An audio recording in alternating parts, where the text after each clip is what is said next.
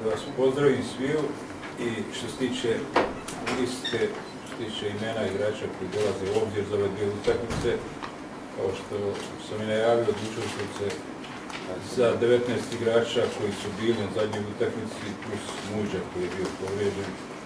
Znači ti 20 igrača su Begović, Avdotić, Pejdić, Pišakić, Pavić, Šunić, Mujđa, Zukanović, Grulić, Savdović, Zahirović, Rahimić, Medunjan, Pjanić, Stevanović, Vršajević, Misimović, Džeko i Bišević, Biša. Znači ti 20 plus tri nova igrača, dva stara, jedan novi, znači Hajrović koji je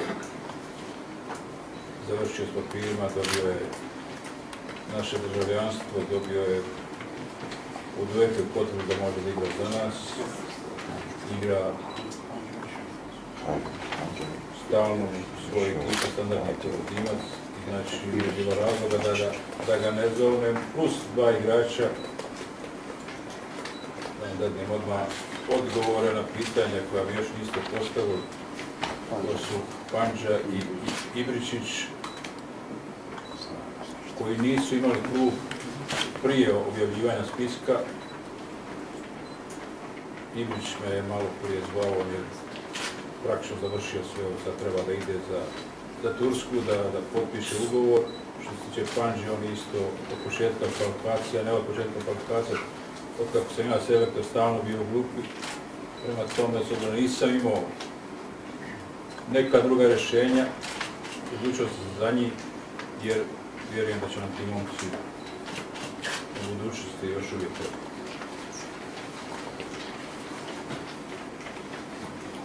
Hvala, selektor, izvolite, pitanja. Evo, kako ste zadovoljni, jesu, ne znam, pratili Hajrović ovih zadnjih utakmica i vidite, gdje ga vidite u ekipi? Vidim ga na put. Pošteno. Pošteno. Pa tek, tek onda treba da, da, da se dokaže u svom klubu i na trenizima ko, koji će provesti sa svojim saigračima. Ukoliko bude imao prilike, ukoliko bude trebao, igrat možda sljedeću, možda onu utakmicu u Slovačkoj, možda protiv Liteštajna uglavnom momak ima 22 godine, standardni igrač, Rastopper sa već dvije, tri zadnje sezone. Dobio sam informaciju da njega da je dobar igrač, ja sam čak izgledao gledao ga još prošle godine prije utakmice našeg Brazila, mišao sam kada gledam, tad nisam nešto posebno vidio, ali znam da je posle toga puno napredovao i da je to sasvim drugi igrač sad. Nadam se da da će ovaj, prvo povećati konkurenciju ekipu, jer mi praktično imamo dva klasična napadača, samo Kuličevko i Bišević. Tu je, kad će biti. I na koje mjesto to zavisi od njega. Vidjet ćemo. Selektor, kada sada pogledate utakmicu sa Mekom i evo bliži se polače na rad utakmice, koliko nam je to pomoglo da mogu? Prvo, htio bih da, da, da vam kažem da nikad u jednom trenutku niti sam poželio nekada izgubim utakmicu, niti sam rekao dobro je što smo izgubili utakmicu. Ja, ako, ako se sjećate vi dobro, ja se dobro sjećam da sam očekivao i priželjkivo te utakmicu. Čak sam rekao, nije strašno ako ne pobjedim. A objektivno očekivao sam neku minimalnu pobjedu tu ili rekao sam čak kad bude nerješan, nije strašno. Ali od toga nisam htio da izgubimo, niti sam poželio da izgubimo utakmicu. Šteta što smo prekinuli u seriji, da mogla se napraviti, nastaviti možda litinsko prvenstvo. Dvije godine bez izgubimo utakmice puno bi značilo za nas e, vi znate da sam ja bio primoran da izvrši neke izmjene na vremenu i to je vjerojatno razlog još smo izgubili utakmicu. Druga stvar, uvijek u početku sezone treba malo vremena igračima, svim igračima, da dođu u formu. Treba nekoliko jakih utakmica, naši igrači nisu imali u tom trenutku, nekima prvenstvo nije ni, ni bilo počelo većini igrač, nekima, možda su imali jednu, dvije jake utakmice, treba očekivati, znači, sasvim drugu ekipu, što iste igrače u drugu ekipu protiv, protiv Slovačke. Prema tome ja nisam zabrinut, zabrinut uopšte.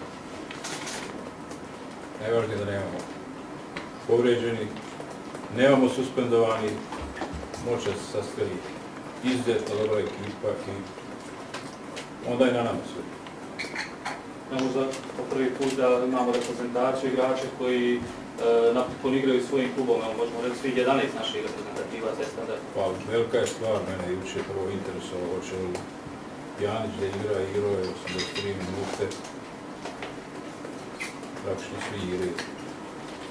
To je, to je dobro, znači još imaju jednu, jednu jaku utakmicu sljedeći vikend i očekujem, očekujem da dođe potpuno, potpuno spremni. Žao mi je jedino krivo mi bilo Sardovića, jer on je naj, najnespret, najnespremniji igrač u ovom trenutku.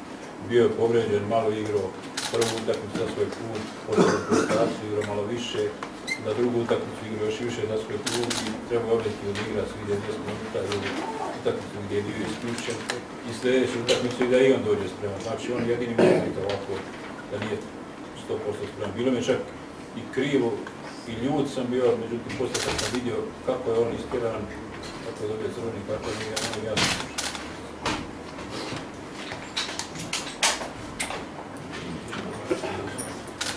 Veliku restaciju Čačića, daj se još administrativne prepreke za njegov nastup. Sam je je igrao dosta pozicije i dosta suzdje. Ja znam da je on sve uradio da, da, da dobije ovaj papire i on bi trebao, kad dođe sad, da podigne samo svoj pas. Da završi. Tako je. Što očekujete od Slovaka, pratite od njih, je to njih situacija, što očekujete Slovačku od se Slovačku? gledao sam njihovu utakmicu koju su igrali, oni su Rumunima 1-1 i dobro je što su igrali 1-1 što nisu izgubili. Znači dobar rezultat, prema tome vjerovatno njihov selektor nema razloga, ovaj novi selektor nema razloga nešto posebno mijenja. Znači već sad sam uvjeđeno znam 9-10 njihovih igrača, možda i 11, možda ta ekipa koja je počela prvo po vrijeme, da igra protiv nas. Vidio sam i nisam vjerovatno stekao pravu sliku s obzirom da je to prva i njima utakmica bila, vidjelo se da, to, da je utakmica bez nekog naročitog ritma bila, bez nikakve agresivnosti, ali vidio sam način na koji igraju, tako da, da ih zašto dobro poznajem. S druge strane, kad bi ja bio na mjestu njihovog selektora, kad bi igrao utakmicu ovdje, išao bi jedino da pobjedim. Jer njima isto ne reši rezultat, ništa ne znači. Nemaju nemaju ništa izgubiti. Ne znam da li imaju nešto da dobiju čak. Oni da dobiju sve četvrtu tekmice, treba se opet poklopi pa da budu drugi. Znači ona dolazi ovdje bez nikakvog opterećenja, igrač je otvoreno, ne vidim da se zapire i čekaju na takav rezultat. Neriješno, a vidio sam da ima dosta opazivnih igrača u toj ekipi, znači očekivati jednu otvornu utakmicu, ja mislim da može tu biti puno golova. A i mi moramo da igramo otvoreno, nama isto. Samo pobjeda dolazi dolazi ovdje i prema tome moramo od ono, prvog minuta krenuti svim silama da što prije damo voda, da bi poslije sumnjali u sebe i da ne bi se nervozao u.